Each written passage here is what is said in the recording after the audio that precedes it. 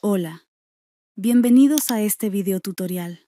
Veremos directamente al pie cómo poner o quitar el botón de inicio, también llamado la casa, en el navegador Microsoft Edge, concretamente en la barra de herramientas.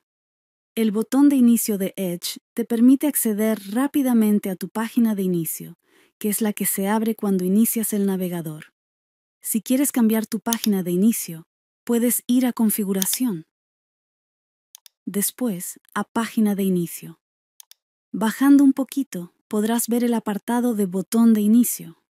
Puedes activar o desactivar el botón y configurar la página web que desees para que se abra cuando lo pulses. Los cambios son inmediatos en Microsoft Edge.